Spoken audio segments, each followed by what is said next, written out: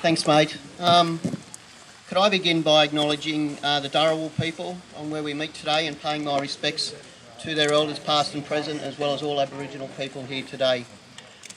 Um, as I said, I'm Greg Warren, I'm the Labor candidate for Campbelltown, but most importantly, um, I have a wife and two sons. So more prominently I'm here today because I care about the future of our waterways and our environment so that my children have the same opportunity to grow up in the same beautiful community that I've been able to um, over the years. The, um, those of you, few people know here about my strong, um, my strong stance on the, on the Camden uh, Northern expansion. Some years ago I put in my own personal submission. Coal seam gas near our homes is not safe. Okay, no scientist, no politician, no bureaucrat, I don't care what they say. That is my own personal opinion, it is not safe. Um, I live in Mount Annan, which you can throw a rock um, over into Campbelltown, which is the boundary of the electorate, but it's also very close to Spring Farm, that gas well that was, was in the news recently. There's no better example as to the effects as coal seam gas than to that what has gone on there, and disgracefully it continues to date. The, um, it was mentioned before about um, the Labor Party, um, you know, putting these things in and the licences and all these other characters and everything like that. Well, I can quite comfortably stand here today and tell you they were bloody wrong. Okay? Um, my politics doesn't define everything about me. What defines me the most is the interests of our community. Why? Because I'm part of that community and my family. I know how important it is. I talk to people and I know how we want to bring our children up in a place that's safe and clean.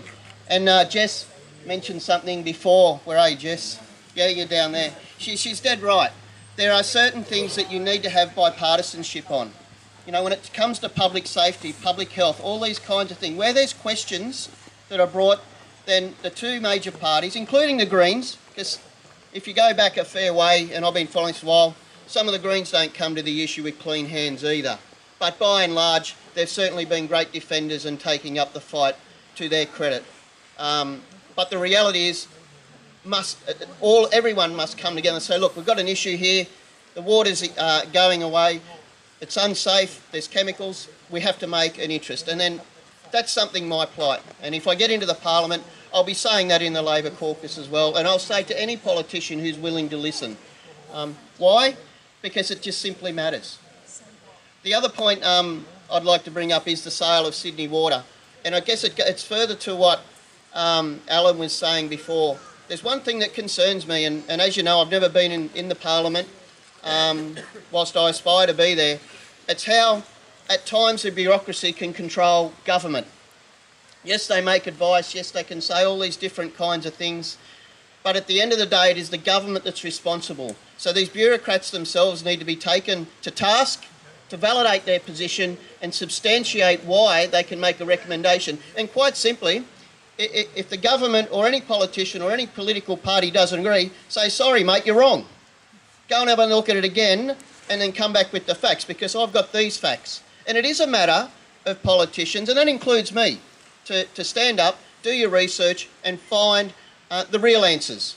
But what must never change is the fundamental motivation of our public representatives must be motivated by those that we're privileged to represent not because they want to keep their jobs, but because their health and safety matters. I mean, I'm not a scientist and I'm not a professional. You know, I've been talking to Michael this week and I explained to him there's so much more I want to learn about longwall mining and things like that. Uh, can I stand here and make you um, promises? I could, but it wouldn't be right. But what I do promise is I'll do everything I can to learn as much as I can in the interest of your safety. And I'll take that into the Parliament and I'll take to task, even my own colleagues, I'll take to task any politician because this matters, which I refer to my first point. I have a wife and two boys, and beyond all, that's what matters to me most, is my family, and I know that's what matters to all of us here today, as well as protecting our environment. I, um, I just want to thank all the organisers, and Julie, we've had other discussions before down around um, our Camden, the platypuses and things like that, and koalas and a whole heap of other different things. So I know the passion that surrounds these uh, issues, and so it should. Um, there's people here that would probably in the past been of all types of varying politi political persuasions, but it's redundant and irrelevant when it comes to the issue of public health and safety.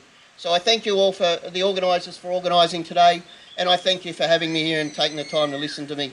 I um, I'm going to hang around for a bit after, but I've got to get going. I've got another function on this afternoon, but I'll stay as long as I can, so please say good day. Cheers.